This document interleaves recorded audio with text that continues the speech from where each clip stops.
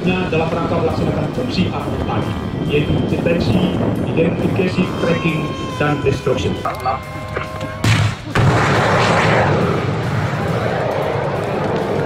Loh, kayaknya kena gue. Wah, kalau mau dicuci.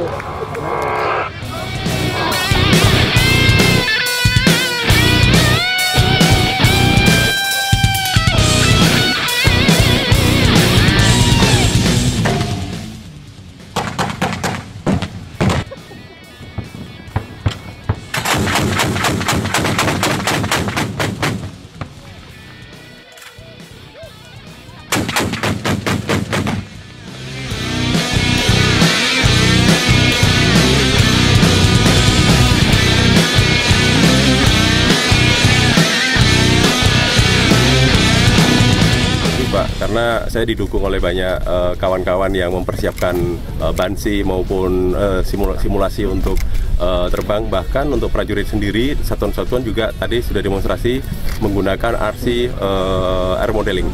Nah, memang sih kecepatannya tidak tidak sama dengan pesawat yang sesungguhnya. Setidaknya prajurit kita ini menjadi profesional untuk melihat sasaran itu bergerak, tidak mudah. Nah, kalau yang sekecil itu bisa ditembak, apalagi yang gede kan begitu.